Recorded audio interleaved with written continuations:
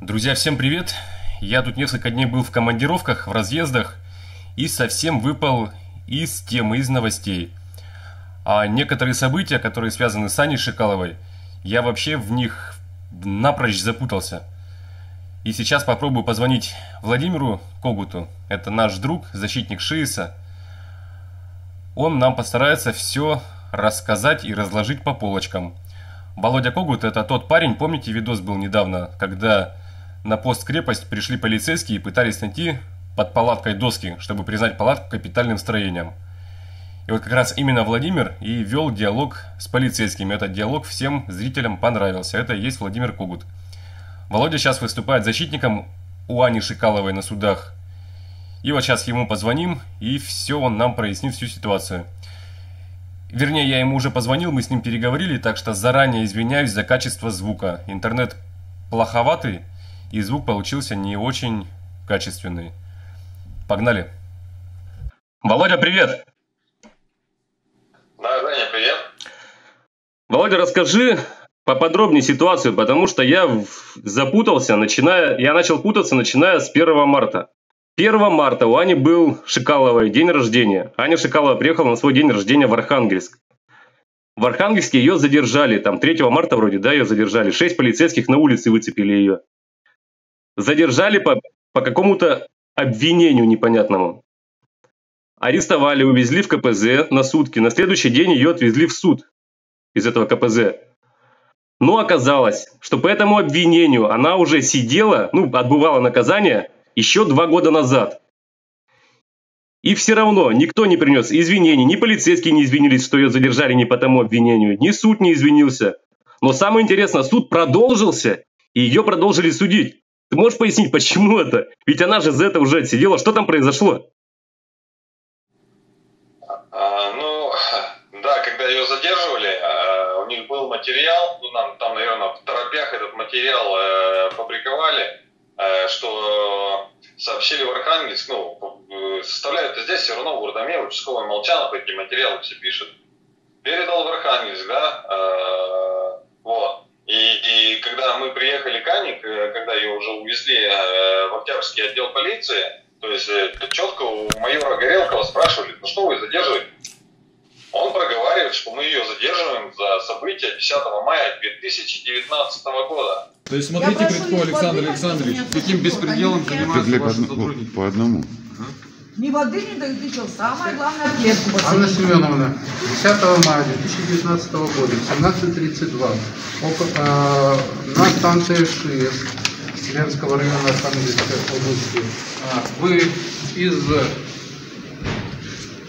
внезапно возникших неприязненных отношений, используя баллончик с неизвестным содержимым, неоднократно э, выпрыскивали неизвестное содержимое в лицо э, Валееву ДО, от чего последний испытал физическую боль. Телесные повреждения причинены Валееву не повлекли а, последствий, указанных статьей 115 Уголовного кодекса Российской Федерации. То есть вы совершили административное правонарушение, предусмотренное статьей 6.1.1 Кодекса административных правонарушений. Так я так-то сидела 5 суток за что-то такое.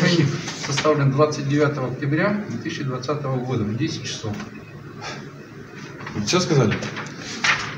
Смотрите, граждане, э, за это данное правонарушение гражданка э, Анна Семеновна Шикалова уже отбывала в 2019 году наказание. Э, ей было сколько? 5, суток. То есть вы да. что, повторно хотите осудить данную гражданку? Повторно составить за это нарушение протокол? Так они сказали, что вот ищите все протокола на нее, чтобы только срок так, не вышел. Так тебя же 10 они... мая уже брали. Тебя же судили я в Минском знаю, районе. Я знаю, Вы что творите-то? Беспределом-то занимаетесь.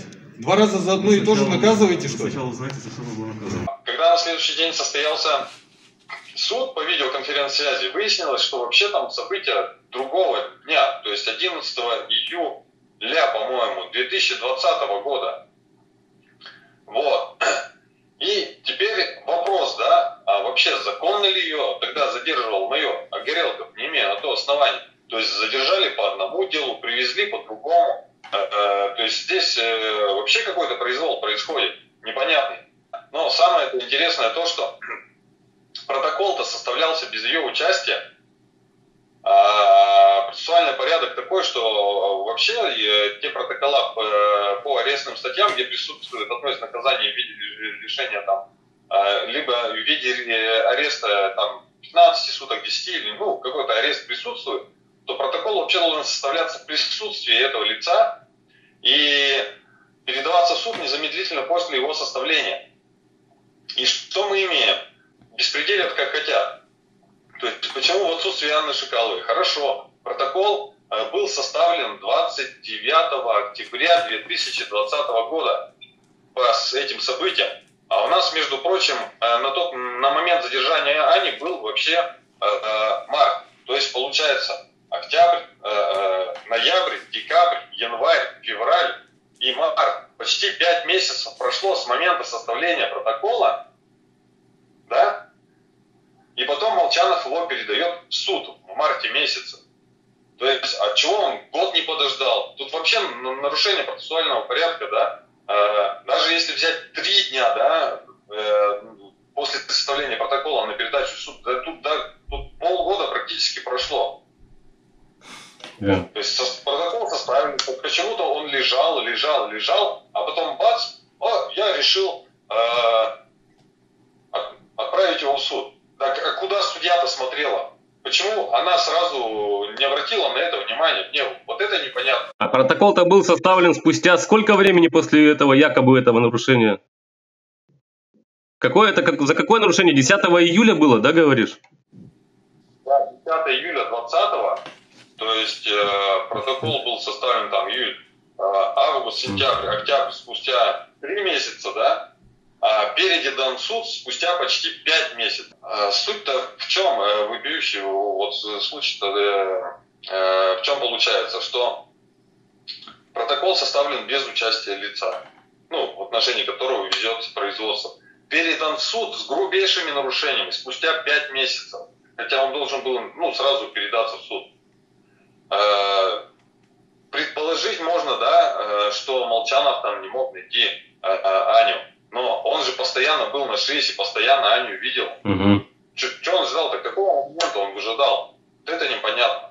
Угу. А вот когда шел процесс уже, э, уже э, после 4 марта, да, суд перенесли же, э, вот сейчас недавно, 17... Подожди, вот 4 марта, да, давай 4 марта еще. Начался суд, выяснилось, арестовали не по, не по тому делу, и суд продолжился совершенно по другому делу. Нет, суд начался вот как раз по событиям 11 э, июля. То есть мы пришли в процесс, думали, что 10 мая, но в суде оказалось, что это 10 июля. То есть э, судил Львовский суд, только э, мы были в Архангельске по средствам видеоконференции. А как раз на что обратил внимание, что когда судья переносила да, на 17 марта суд, то уже были заранее изготовлены. То есть нам сразу вручили повестки, которые были пересланы через факс. То есть э, э, получается, смотри, как, э, нас судит судья Вильготского, ну, мировой судья второго судебного участка Вильготского суда, да, а передачу всех бумаг и удостоверение личности обеспечивает судья, я уж забыл, какой там суд-то был, ну, в Архангельске, который судья, mm-hmm. который непосредственно с нами сидит. То есть судья только обеспечивает там передачу документов, э, удостоверение там личности, ну и так далее. Вот. И получается, нам вот судья с Архангельска передает уже готовые, изготовленные повестки с переносом. То есть э, судья как заявила, что мы переносим, то есть они заранее уже знали, что перенесут этот, mm-hmm. э, э, этот процесс на 17 марта. Mm-hmm. Потому что повестки были пересланы по факсу, судья никуда не выходила, вот которая обеспечила процесс. И получается суд перенесли на 17 марта, да, уже? 17 марта. И скорее всего это было сделано, чтобы в Яринск перенесли, да? А, смотри, какая оказия получается. То есть судит нас э, э, мировой суд. Ну, Аню. Угу. Вот. А обжаловать решение мирового суда мы можем в районном суде только. А районный суд, опять же, в Яре. Понимаешь?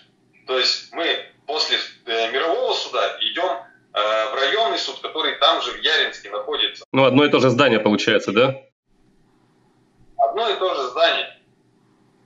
То есть для чего? Чтобы один судья прикрыл э, ну, противоправные действия, ну, как я считаю, Мгм. это мое сугубо личное мнение, другого судьи, которые рядом сидят, там, может быть, у них даже кабинеты рядом, может быть, они даже ходят там, отдыхают вместе, ну, может быть. Мгм. Мгм. А, вот. Ну, в одном поселке живут, естественно, поселок Яринск, он небольшой, маленький. Так э, в Яринске три судьи. Это получается э, судья Мажухина, судья Якимов и судья Минина. Теперь, Володь, перенесли суд. Из Архангельска Аню отпустили, получается, 3-4 марта, да? Прошло две недели, наступает 17 марта. Что там произошло? Я вообще вот 17 марта я потерял всю логику. Получается, вы, вот ты как защитник, другие ребята, там другие люди приехали Аню поддержать, и сама Аня. Приехали, готовились по одному делу, что, ну, готовились, что будут рассматривать, суд будет рассматриваться по одному делу, по которому был перенос. В итоге там, я уже потерял логику всю, там в итоге всплыло 4 или 5 или сколько, или 25 дел разных. Что там происходило у вас на суде? Там какая-то дикость была. Когда мы... Ну, да, трудно, можно запутаться, конечно, было. Да, а, э, то есть, когда мы, э, мы уже знали, что в Яринске будет проходить два судебных процесса.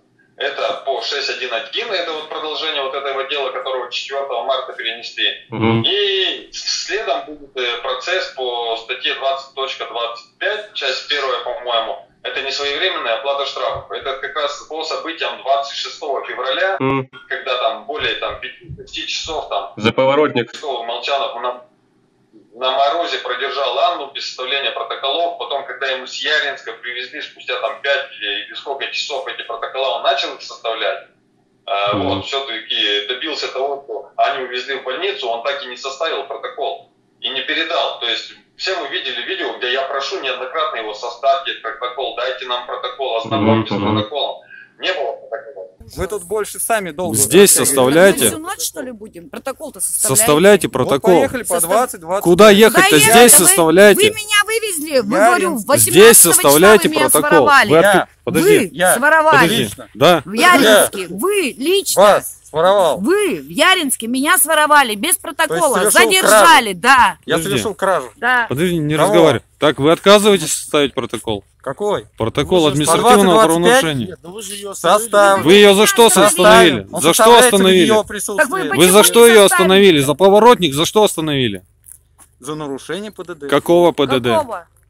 Какого именно ПДД? За что вы ее остановили? У вас были основания для остановки? У меня был. Какое? Вы у нее посмотрите на Ну видео. так что? Я все разъяснял. Вы кто? Чтобы я, почему я вам должен разъяснять? Я- Вам. Это мой защитник. Все, в устной Мой форме было сказано, что это я являюсь защитник. защитником. Вам достаточно, Что достаточно? Нет, не что я защитником являюсь? вам Какое заверите. В устном. Я тут, в устной это мой форме. защитник. Анна Семеновна заявила, что Вам я предложат. являюсь защитником. Что вам Неоднократно. Вы должны протокол составить, вы сказали. Протокол за Составляйте, нарушение я ПДД. материалом. Я вам Я подошел, распишусь. сказал, что у вас есть неоплаченные штрафы. За все Они надо оплачены. будет отвечать вам. Протокол составляйте по ПДД. Отказываетесь составить протокол за ПДД, за нарушение. Вы составлен. сотрудник Молчанов. Гражданка может ознакомиться. Гражданки, принесите сюда и ознакомьте ее с протоколом. Гражданки, все. Несите протокол. Вы отказываетесь принести протокол. Вы мне почему указываете, А что вы я должен? Вы отказываетесь имели принести меня протокол данной Вы гражданки. остановили, почему вы меня остановили? Протокол составляйте, я тут на данный момент, я распишусь. Здрасте. Прошло 5 часов. О, так ничего вы себе, вы- меня вы задерживаете? пять часов Пять незаконно часов удерживаете документы гражданку. не могли Пять открыть. часов. Теперь я тут. Пять часов вы а вы что задерживаете. не открывали? Пять часов. А, А? вы как документы-то у меня забрали? Пять С часов. форточки? 5 часов. Как вы Документы у забрали вас документы? находятся. Сейчас я сниму, часов. что документы там находятся.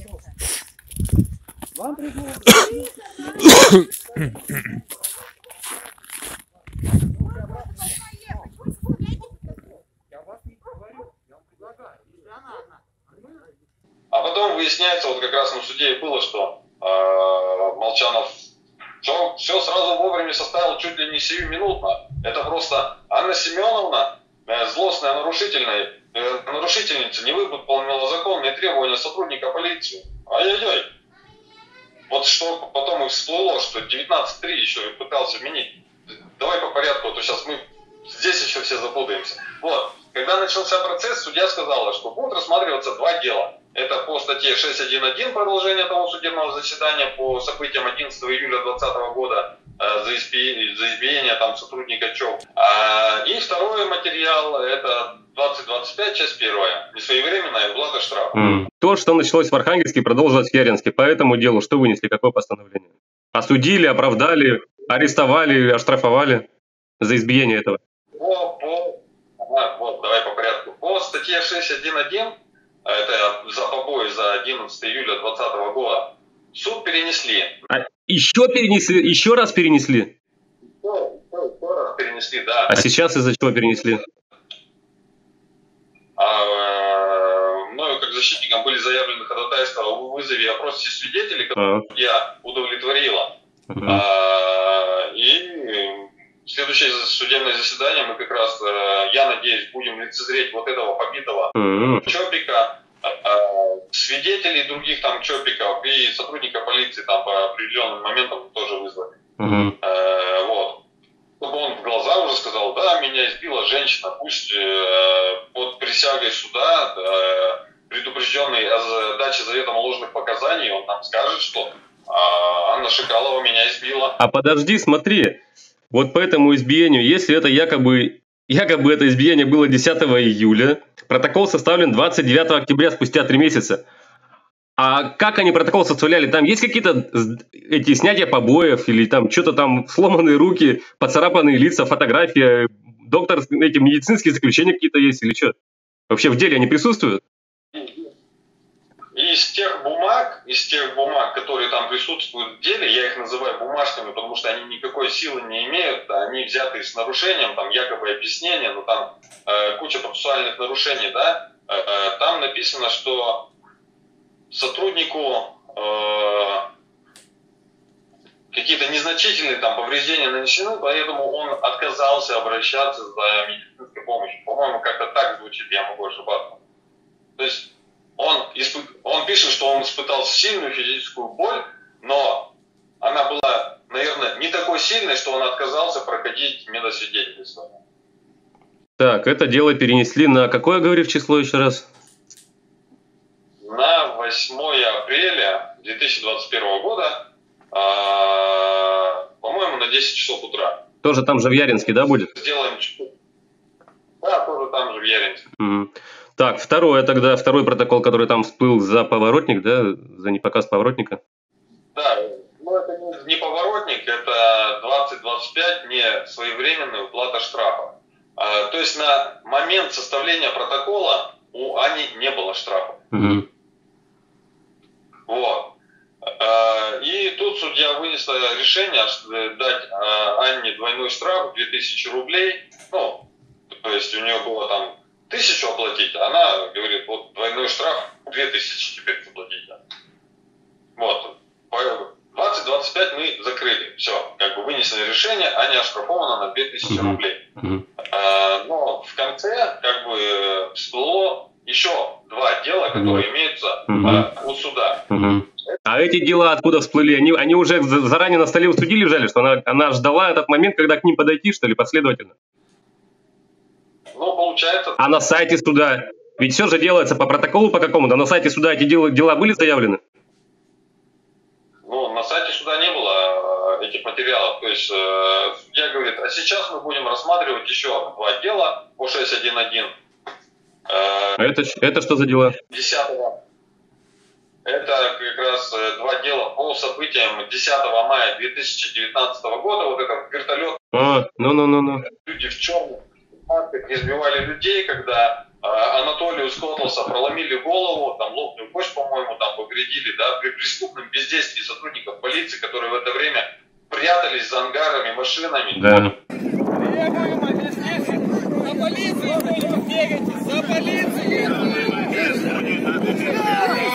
Что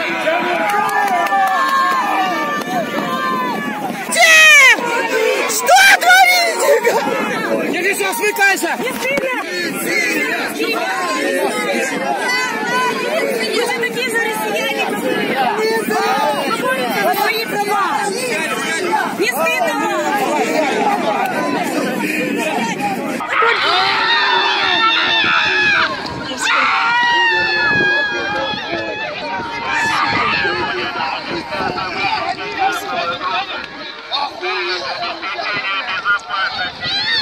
Что делать?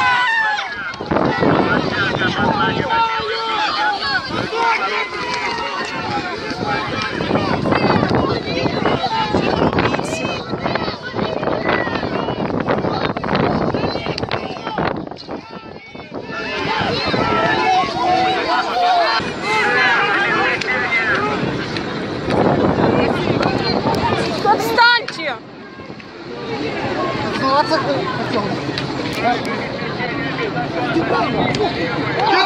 Ты что творишь, блядь? Ты что творишь, блядь? Ты что творишь, блядь?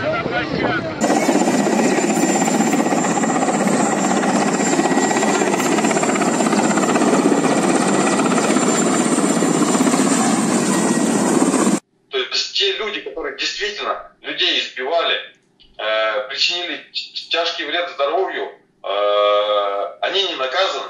Они наоборот сейчас жалуются, они наоборот сейчас жалуются и вы- выставляют себя потерпевшими. Получается так? Так, еще плюс два дела. Еще плюс два дела. Эти дела что, получают, тоже рассмотрели или с ними что-то там происходило с этими делами? А, нет, а, их- их как раз перенесли э, в связи с тем, что надо ознакомиться с материалами дела. Э, Мы же не знакомы были с материалами дела. Судья перенесла одно дело на 13 апреля 2021 года, а другое на 19 апреля. А теперь, у тебя есть листочек рядом? Это получается вот эти два, это два, эти два дела, это тоже за избиение охранников, что ли, да? Да, да, да, да, это все по 6.1.1, нанесение побоев. А И у нас, смотри, числа. Да. А теперь магия чисел, да? Обрати внимание на магия чисел. Смотри, 8 апреля, Угу. 13 апреля и 19 апреля. То есть между делами промежуток 5 дней. Значит, исходя из логики, можно предположить, что 8 числа мы придем в процесс. Они вынесут решение наказать на 5 суток. Аня выходит 13 числа, у нее М. Потом принимает решение наказать на 5 суток. Аня выходит 19 числа суд.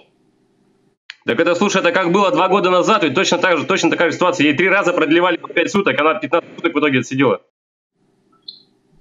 Да. А потом, а потом э, в процессе, ну, вот как раз немножко забегу вперед, э, в процессе, во время суда, да, когда шел процесс, э, участковый Молчанов составил на Аню еще один протокол. Но это уже за неповиновение сотруднику полиции 19.3.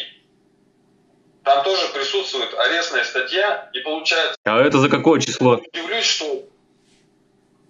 А это вот как раз за события, я так понял, ну, еще материалов мы не видели, э, нас не ознакомил участковый, он только составил протокол. Э, за 26 февраля, это вот как раз, когда он продержал Аню там более 5 часов на морозе, вот, э, э, она якобы не выполнила его какие-то законные требования. Представляешь?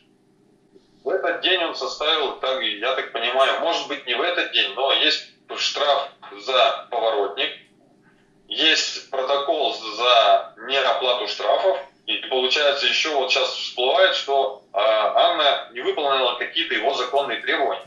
Хотя все мы видели те события 26 числа, практически там беспрерывно мы вели видеосъемку, да, по этим событиям, то есть никаких требований он не предъявлял. Мы, наоборот, к нему предъявляли требования, что господин, э, какой господин, гражданин Молчанов, составьте нам протокол. Ну, составьте, начинайте Да, да, да. Зачем вы? Морозу, у Ва- у Вани бензин кончается в машине сидеть. Мгм. То есть составляйте, составляйте. Мы неоднократно на протяжении пяти часов ему говорим, даже, по- по-моему, шести часов даже Мгм. говорили. Так, вы приехали на суд по одному делу, по второму делу, потом появились еще плюс два дела.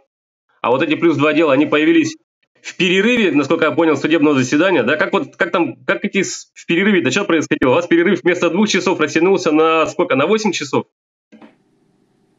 Ну, нет, у нас, э, то есть мы начали процесс, э, объявили перерыв, ну, по ходатайству, да, что давайте объявим перерыв, потому что надо там и пищу принять, и естественно, надо нанести справить там кому-то люди в возрасте были, кому-то лекарства принять, процедуры какие-то, да. А, и после того, как мы пришли с перерыва, э, вошли э, в зал суда, тут пришел Молчанов, и я сейчас буду составлять протокол. Молчанов это участковый. Ну, получается, командует судом, ну, я не знаю, может, у него есть на то полномочия. По сути, можно сказать, как предположить, сорвал судебное заседание, что ли, да, так сказать? Получается, да. И судья, и судебные приставы бездействовали, да. А, то есть они должны смотреть за законностью, за порядком там в суде, да. А что такое какой-то там человек в, в форме, ну пусть даже в форме, да, приходит в судебный процесс и говорит, говорит, что я составляю протокол. Судья пришла, ну, я не видел этого, ну, люди рассказывают, да, что судья зашла в кабинет, увидела, что там Молчанов процессуальные действия какие-то свои противоправные проводит, и ушла. То есть она даже не сделала. То есть, получается, судья, хозяйка кабинета, ну, ее кабинет же, правильно, ее зал судебных заседаний, э, не сделала никаких замечаний этому Молчанову, не выгнала его, у нас же все равно процесс не прекращался. Был объявлен... То есть, подожди, это, это уже даже перерыв закончился, что ли?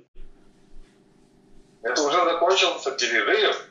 Мы же все подошли угу. к времени, да, что, угу. по-моему, там двум часам И судья пришла на место, судья пришла на место, и им всем было пофиг на это, они продолжали свою там эту, свои протоколы впаривать. Да.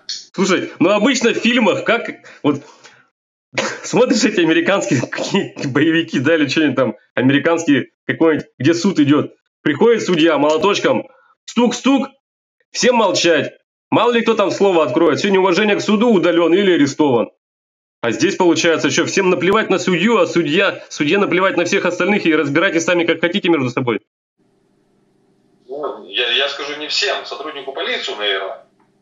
Потому что мы-то пришли как раз... Да, да, да, да, да. Ну, как послушные граждане, да, мы рассаживались, и а, у Молчанова, наверное, есть на то полномочия вести себя так. Я, я, я же не знаю, какие там, может, какие-то новые внутренние приказы пришли. Ознакомьтесь, все, помолчите, буду ознакомить. Посмотрите, на данный момент подошел сотрудник, протокол уже составлен, то есть без присутствия гражданки. Протокол составлен э, без разъяснения э, статей, то есть это грубейшее нарушение. Третко Александр Александрович, смотрите, как ваши сотрудники действуют. Цибульский, это что такое за преследование активистов-то? Ты когда прекратишь противоправные действия в отношении активистов?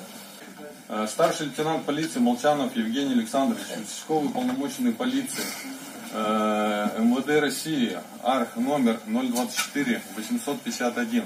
Личный номер Б 491 957. Действительно, до 29 апреля 2025 года. Приспустите масочку, чтобы слечить э, ваше лицо с фотокарточкой в удостоверение. Э, Ниже. Откройте удостоверение, мне же так не слечить. Приспустите. И каким образом я должен делать? Ну, мне что? Освободите Запоминайте. Я значит запоминайте. Вы. Все, сотрудник полиции отказался. Да? Вообще, давайте тут еще до ночи будем сидеть, что ли? Господин Молчанов, мы на судебном заседании, вы, блин, место занимаете здесь? Какого хрена? Призовите в кабинет другой, вручите кому чего. А то судья пришла и ушла. Вот сейчас господин Молчанов с тремя звездочками будет решать, сколько будет суд продолжаться. Так вот, смотрите, граждане, как у нас действует полиция. Превышение полномочий. У него три класса образования по пунктированию. э, Анну Семеновну. Достали. Конечно, что Хотят, что хотят, и творят. Пришел в суд. Судья нам не, не шумите, а он пришел в суд, занял помещение. Ерундой занимается. Как хозяин. Прошу обратить внимание, да?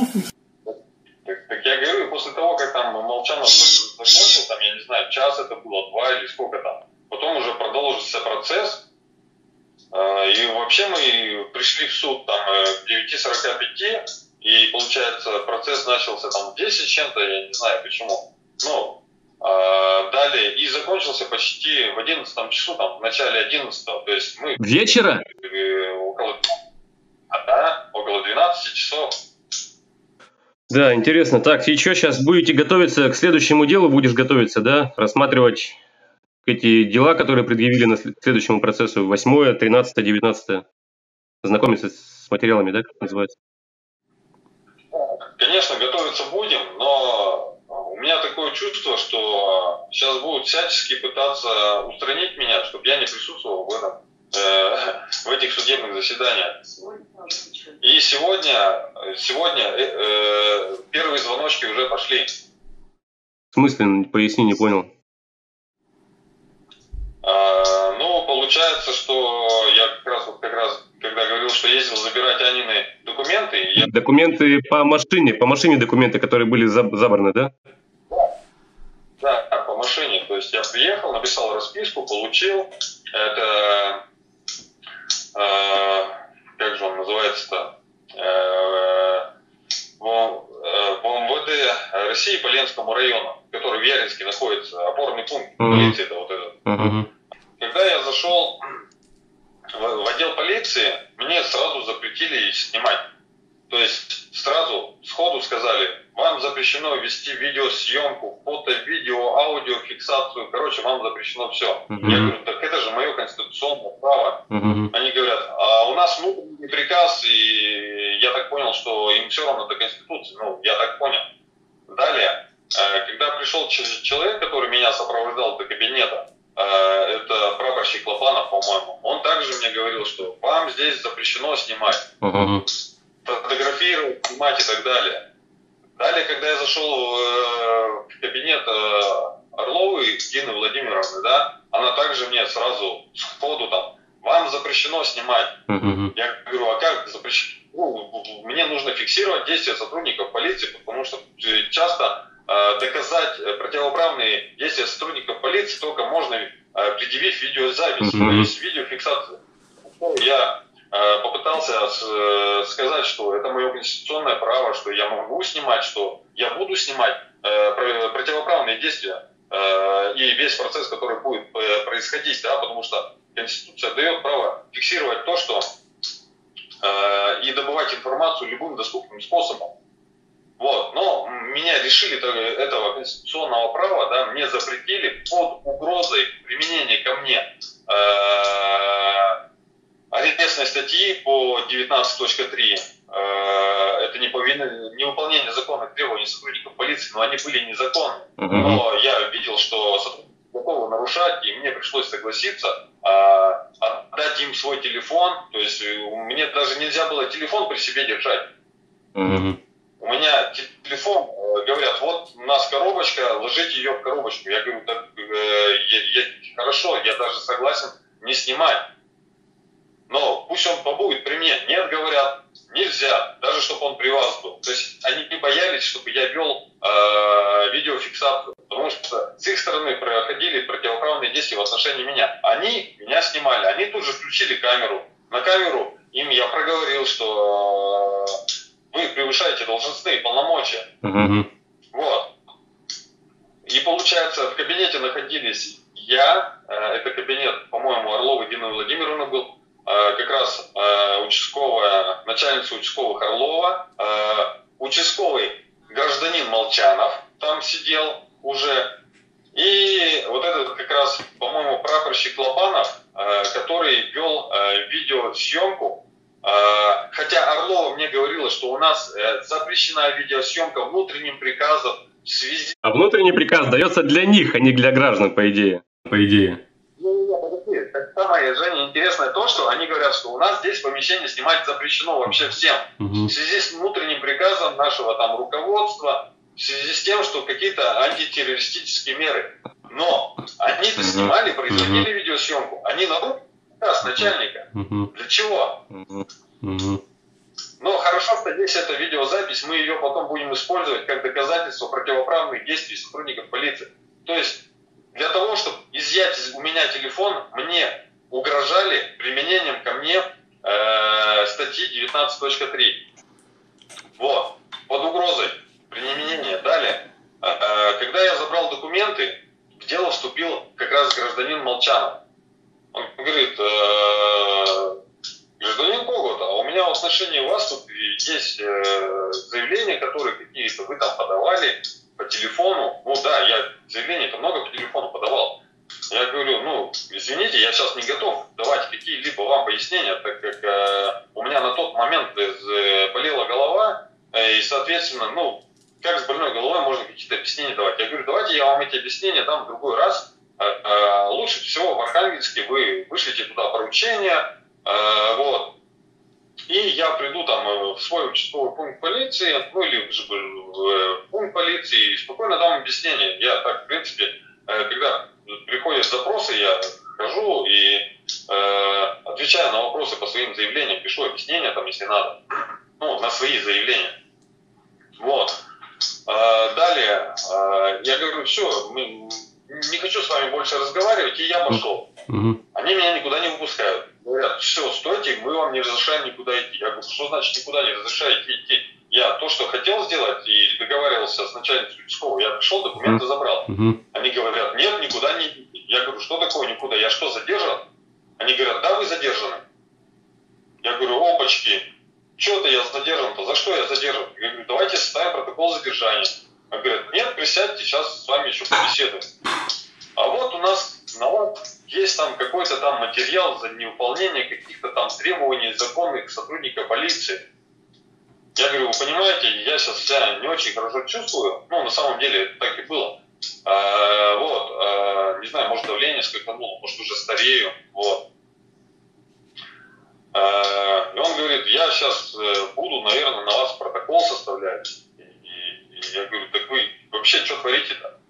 Вы запрещаете мне вести видеосъемку. Я говорю, мне нужно э, вызвать сюда защитника, адвоката, юриста. Вы бы хоть предупредили, вы же знали, что я к вам приду. Угу. Ну, что я к вам приду. Вы знали заранее, вы могли бы сказать, что вот вы придете, а мы на вас будем материал там какой-то составлять. Так я бы, естественно, защитника, юриста, адвоката, группу поддержки, я не знаю, там, вызвал бы э, каких-то правозащитников. Я говорю, вы вообще что делаете? Я говорю, я сейчас вообще, ну, не отдаю, не, немножко не понимаю, что происходит, потому что, ну, э, не здоровится мне. Вот, но там э, говорит, ну, хорошо, мы тогда в другой день на вас выпишем там э, протокол по неповиновению, по-моему, законным требованиям сотрудникам полиции 19, но я думаю, скорее всего, они его составят. И еще там что-то там вроде как э, э, по 7.9, это то, что у нас ребята в лесничестве судили, там, что-то там незаконные строения капитальные какие-то на 6. Капитальные палатки, да? А, да, про капитальные палатки как раз мы ролики видели, так вот как раз, наверное, вот за капитальное строение, э, которое я там построил, э, вбивал сваи, э, не знаю, заливал фундамент. Кол, колышки, колышки капитальные вбивал вокруг палатки, да?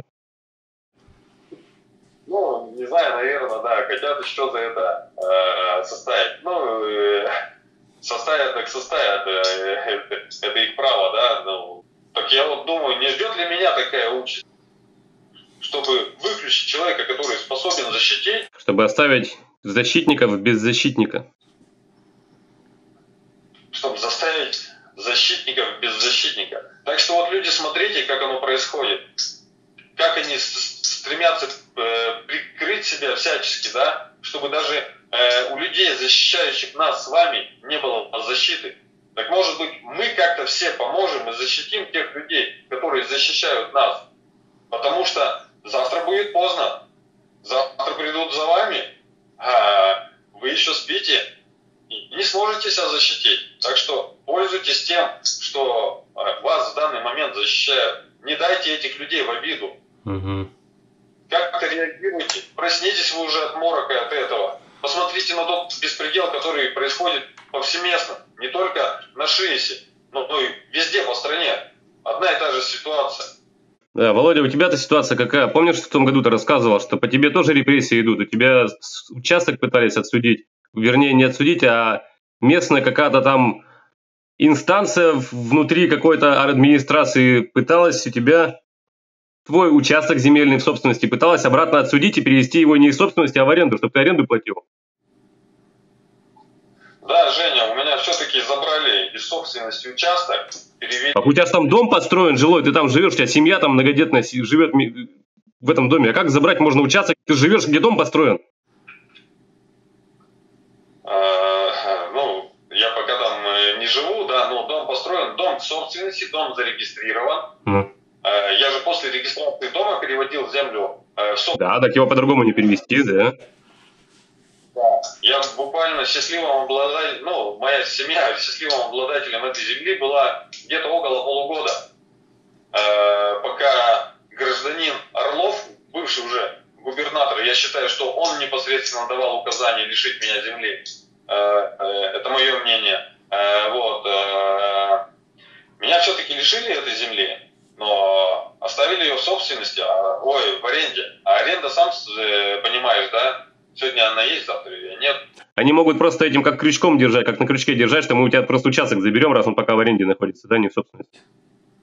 Ну, так и подавитесь. Вот.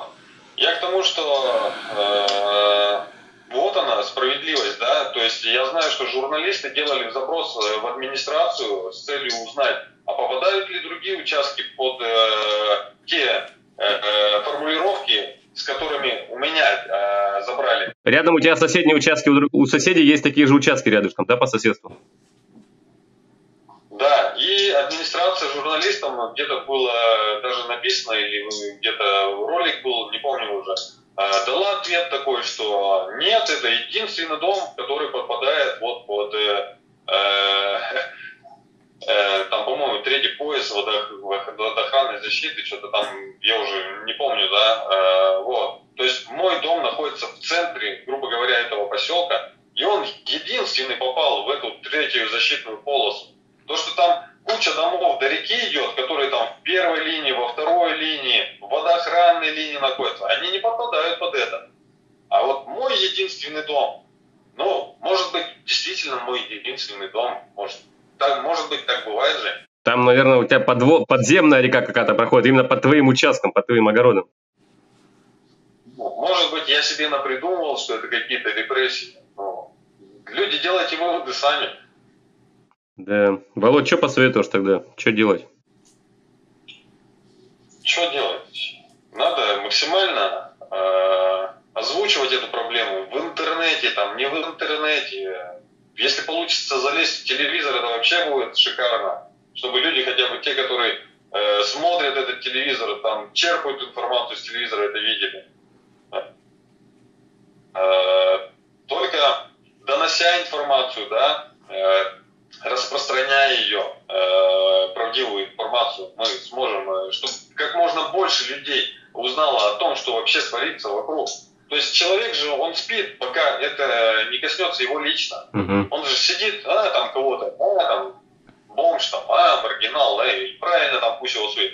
А как его коснется какая-то конкретная проблема, он начинает кричать, а, спасите, помогите. А кто тебе сейчас поможет-то?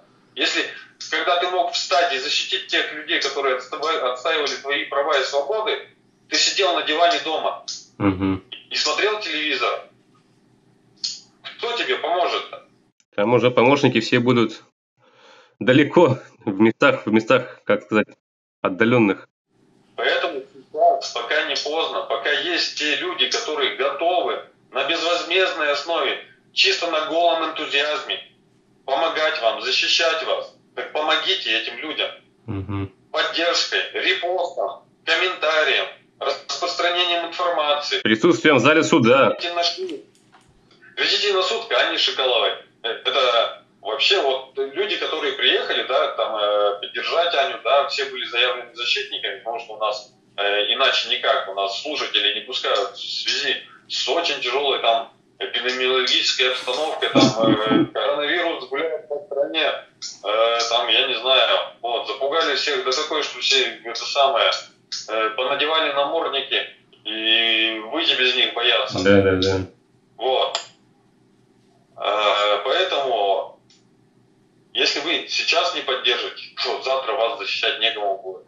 А mm-hmm. если завтра вас это коснется, ну, что вы можете? Да ничего вы не можете. Угу. Ладно, Володя, спасибо. Теперь внес ясность. Спасибо за разъяснение, за пояснение, потому что ну, сейчас уже более-менее понятно стало, что происходило. А то путаница такая. Они, они, походу, не только мы запутались, они сами уже запутались. За что арестовывают, за что судят, сами не понимают уже. Да, я еще хочу такое наблюдение э, сказать, да. То есть, э, смотри, э, репрессии в отношении активистов, они усилились с приходом гражданина Цибульского. Угу. То есть э, при Орлове таких мощных репрессий, ну да, были репрессии, да, но когда пришел Цибульский, ну, в регион главой, то есть все, что он говорит, происходит все совершенно наоборот. Он же говорил, э, что это самое, там надо разобраться там, э, в отношении, там, э, что активистов там как судили, да, по-моему, он где-то заявлял. Обещал станцию открыть. Со мной встретиться обещал, до сих пор Мгм. не встретился. Что касательно, да, вот репрессий, Архангельскую бессрочку, которая одна из немногих, до сих пор еще стоит, да, на центральной площади в Архангельске. Мгм. В отношении нее там репрессии. Там же было такое, что я тут как-то собирался на шире съехать, да, Мгм. а мне звонят ребята с бессрочки, там, Володя, нас забрали. Я говорю, что забрали, протокола какие-то ставили? Нет. Я, то есть мне через несколько часов ехать, я еду в этот участок, э, есть видос даже, что говорю, э, э, составляйте протокол задержания. Они говорят, нет, мы не будем составлять. Я говорю, вы что людей-то забрали? Пишите нам бумагу тогда, что человек находился с такого-то времени по такое-то время у вас в участке. Они говорят, нет, мы ничего не будем писать. Я к дежурному там, этой ди- ди- дежурной части говорю, что э, у вас в журнале зафиксировано, что вам людей задержанных привезли. Нет, у меня вообще людей здесь, говорит, не числится. Я говорю, так что за беспредел Похищение какое-то, да, получилось? получается? Получается, с площади увезли, а потом просто отпустили без объяснения причин. Что за фигня-то творится? Извините за выражение, но уже эмоции зашкаливают. Что это такое-то? Также и ребята у нас хоть, э, в феврале месяце, да, 4 февраля, забирают лю- людей там молоком тащат. Где возбуждение дел, где проведение проверок? 18 февраля ребята увозят, вывозят, да, и под предлогом таких вывезли для того, чтобы никто не вел фото-видеосъемку. Причем их, их якобы пригласили в качестве свидетелей. Но, это разы приглашения их чуть ли не пинками и силом, чуть ли урки не заламывали, да, телефоны выхватывали. Это, это, это разве, так, как, как такое отношение к свидетелям может быть? Это как, я не знаю, как к преступникам, как к убийцам отношение какое-то было, такое, блин, такое поведение. Так и получается, что у нас э, лагерь на Ленинграде разрушило Министерство природных ресурсов, есть ответ Классникова, да, где он это, начальник УМТ Боленского района, где он сам собственноручно ставит подпись, э, где есть текст, что это решение приняло Министерство природных ресурсов. А мы так просто рядышком стояли, обеспечивали э, общественный порядок 4 февраля. А э, по случаю 18 февраля там сотрудник полиции Медведев, по-моему, да, где-то на видосе говорит, что да, ваш лагерь там на бане, да, на крепости вообще лесники сожгли. Ну, круто. Все все знают и все молчат. Цибульский с экрана телевизора заявляет, что а я в курсе всего был, но я попросил их, чтобы вещи аккуратно сложили и вывезли. Так вы кто такие-то? Вы почему на себя э, примерили роль суда? Вы кто, судьи, что ли? Что вы приняли такое решение, без решения суда все посносили? У нас теперь каждый может судить, что ли, получается? Зачем нам судьи нужны, если у нас тогда э, другие люди принимают решения? Да. Давайте уберем всех судей. Да. Э, как раз э, хотел обратиться к гражданину Цибульскому, э, чтобы э, встретиться, да, органи- организовать некий круглый стол, э, на котором будут присутствовать э, начальник УМВД России по Архангельской области Предко, э, прокурор области Насеткин и главный федеральный инспектор, э, такая- который полномочный представитель президента в, э, в Архангельской области, ну вот, э, главный федеральный инспектор. То есть встретимся, обсудим. Может быть, вы не в курсе того, что творится у нас в Архангельской области с правоохранительной системой, э, с прокуратурой, э, с судьями Ленского района. То есть Ленский район, э, я считаю, это, э, не знаю, это мое сугубо личное мнение, это рассадник беспредела. То, что здесь творится, я э, видел только здесь. Давайте разбираться. Может быть, вы не в курсе того, что творится. Да. Да, ну, и я- да. Поэтому, может быть, Предко не знает, как э, его сотрудники здесь в Ленском районе действуют. Э, Насеткин не знает, как прокурор его здесь ведет. Э, э, а мировых судей, по-моему, даже губернатор назначает, если я не ошибаюсь. По-моему, так. Я могу, конечно, ошибаться, но там есть э, Мировых судей кто-то назначает из местных, там, по-моему, депутатов или губернаторов, надо уточнить эту информацию. А главный федеральный инспектор как раз это все э, своими глазами увидит и донесет до нашего верховного главнокомандующего. Может быть, там тоже не в курсе того, что происходит. Так давайте разберемся, встретим. Да, может, они не в курсе, и действительно из-за этого все так происходит. А они, когда узнают, что такие бесчинства творятся, примут меры, накажут виновных и сотрудников, и полиции, и прокуратуры, судьи, может быть, накажут. У нас вообще э, беззаконие это от того, что э, безнаказанность и вседозволенность. И если бы хоть раз наказали хоть одного там полицейского, там прокурора, сотрудника какого-то, судью наказали бы, они бы чувствовали за собой, что а, мы можем понести наказание. Нет, мы будем действовать по закону. Mm-hmm. И получается, что безнаказанность порождает беззаконие. Mm-hmm. Вот. А, и по поводу наказания, раз уж мы коснулись наказания. А, суды трех инстанций признали, что стройка действительно была незаконна. Хорошо. А где наказание это виновных лиц? Mm-hmm. Где наказание тех, кто допустил это строительство? В первую очередь губернатор бывший Орлов, который с экранов телевизора кричал, что я видел все разрешительные документы. Голубчик, а почему-то суд этих документов не увидел. Почему не наказан аппарат Орлова, который допустил это строительство, Минприроды, все остальные министерства, которые бездействовали, которые это все видели? Почему надзорные органы, прокуратура куда глядела? Где наказание прокурора? Где наказание сотрудников полиции, которые допустили, которые там присутствовали при этой стройке? А это стройка была. А судьи куда смотрели, когда выносили решение? Давайте пересматривать тогда дела всех активистов, которые были наказаны за эти два года. Суды же признали, что это все незаконно было. А активисты-то наказаны там по статьям там, препятствование какому-то строительству. Так строительства не было. Да. Так значит, получается, выполнили роль вот этих надзорных органов да. э, э, и остановили строительство, причем на законных основаниях, да, делать наказание виновных лиц. И получается, что у нас вместо действительно тех людей, которые должны быть наказаны, Э, наказывают невиновных, которые не допустили как раз вот этого строительства. Ладно, Володя, спасибо, что ввел, как сказать, вывел из заблуждения, вернее, все рассказал, все разложил по полочкам, потому что путаница была такая конкретно, а сейчас уже более-менее все понятно стало, ну, в связи с этими с последними событиями этого, этого марта месяца. Желаю удачи на предстоящих заседаниях. Готовься к делам, к будущим и защищай Аню, защищай других ребят, которые будут попадать под каток репрессий. И тебе желаю не попадаться под каток под этот. Все, Володя, спасибо. До скорой встречи. Все. Давай, до скорых встреч. Давай, пока.